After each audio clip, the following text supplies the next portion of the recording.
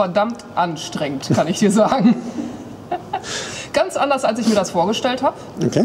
Ähm, man zieht seine Bücherei mal kurz auf links, hat man das Gefühl, zwischenzeitlich. Dann findet man sich aber auch doch wieder zurecht in alten Gewohnheiten. Aber es ist tatsächlich so, man muss viele alte Gewohnheiten ablegen und Neues beginnen. Da würde mir erstmal einfallen, dass ich am Anfang gedacht habe, ja, weiß ich auch nicht, wie das zusammenpassen soll. Aber es passt sehr gut zusammen und am allermeisten hat mir gefallen, dass wir uns unter den Bibliotheken so gut vernetzt haben. Also wir haben ganz nette Kollegen kennengelernt, erstmal digital, jetzt auch analog.